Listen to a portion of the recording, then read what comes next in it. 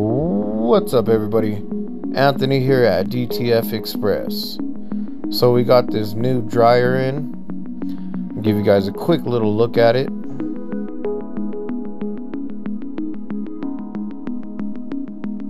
Give you a quick look at the conveyor belt and the heating unit.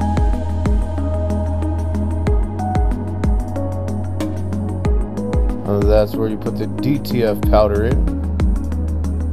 Alright, let's get this guy fired up. Hit that main switch. Go ahead and hit the power button.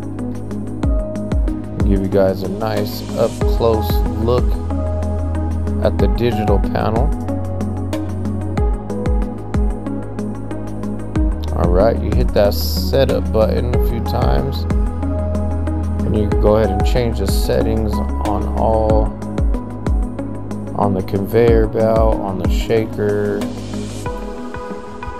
on the heating unit, and on the heating plate.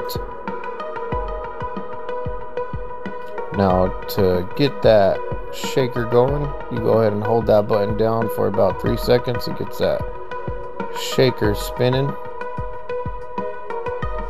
Alright, and here's the heating unit and the heating plate. Now to turn them on and off, you go ahead and hold the up and down button.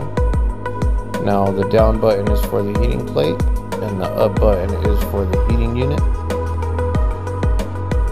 And like I said, all you gotta do is hold them down for a few seconds to turn them on and off.